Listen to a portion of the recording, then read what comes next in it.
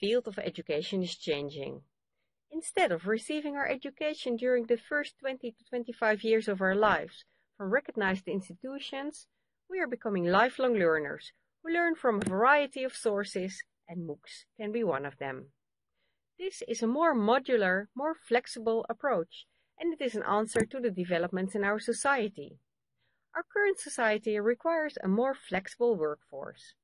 At the same time, technological developments, such as increased internet connectivity and mobile devices, have partly changed the modes of delivery of education, from books and physical lectures to education through a variety of media and on a variety of devices.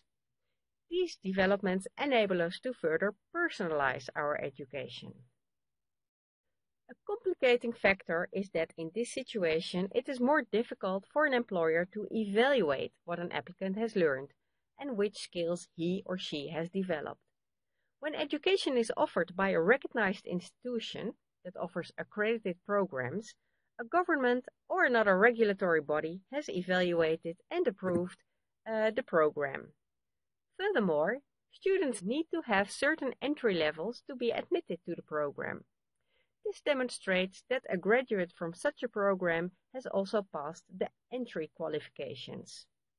With this unbundling process, the need arises for another way to obtain an indication of the skills of a person, for instance an applicant. One way uh, that this is tackled is through ID verification and proctoring of exams.